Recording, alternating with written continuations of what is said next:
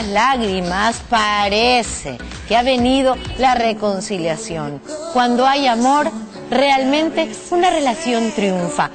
¿En qué ha quedado la relación entre Yasmín Pinedo y Gino Acereto? ¿Están juntos nuevamente? ¿Tú has engañado a Yasmín? ¿Tú has negado a Yasmín? Jamás de los jamases negaría a la persona con la que yo estoy. Una dura semana donde las dudas cegaron a Yasmín Pinedo, llegando al punto de casi dar por terminada su relación con Gino Acereto. La desconfianza se había apoderado del corazón de la chinita, que no quería escuchar explicaciones. Felizmente, después de la dura tormenta, la calma llegó. Yasmín se ablandó y arregló los malentendidos con su león.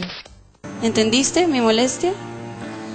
Vi las pruebas, pero... ¿Me entendiste? Pero te hice entender de mil maneras que yo no era la ¿Entendiste persona que no era un capricho, que no era un juego, que en verdad estaba, me sentía mal? Yo lo único que quiero saber es si, si confías o no en mí.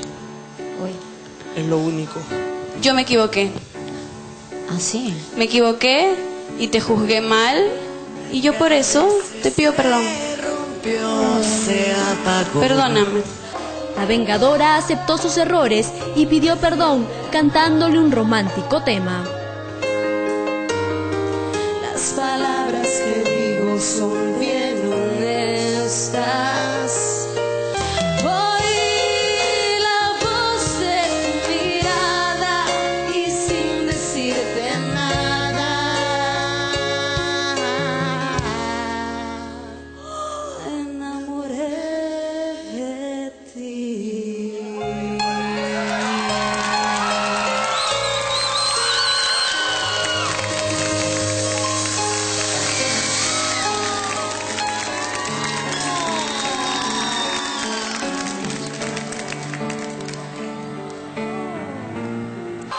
Al fin pudo respirar tranquilo.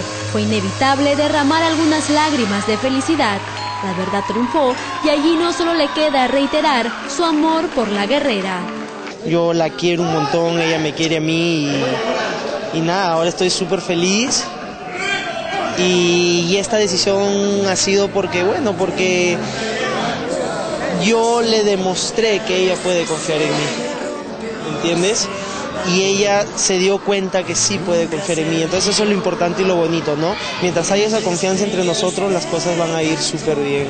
Yasmín también la tuvo difícil. Unos mensajes de lo que resultó ser una falsa cuenta de Facebook fueron los causantes de esta pelea. Finalmente se alegra de haber escuchado las explicaciones de su querido Gino. El amor sigue intacto. Fue difícil, fue una semana bien difícil, llena de dudas, de complicaciones, de malos momentos, pero pucha, gracias a Dios Gino pudo comprobar que, que todo fue una maldad. ¿Cómo se debió entonces a un malentendido de un Facebook falso y cosas así? alguna travesura de ahí. Qué pena que haya gente así. Yo estoy enamorada de él, estoy feliz con él, él me hace, me hace sonreír un montón y, y estoy bien contenta de haberme equivocado. Es por, probablemente el error que más me ha gustado. Guárdenme pues los carteles para mi próximo aniversario. Ay, yo quiero hacer algo así.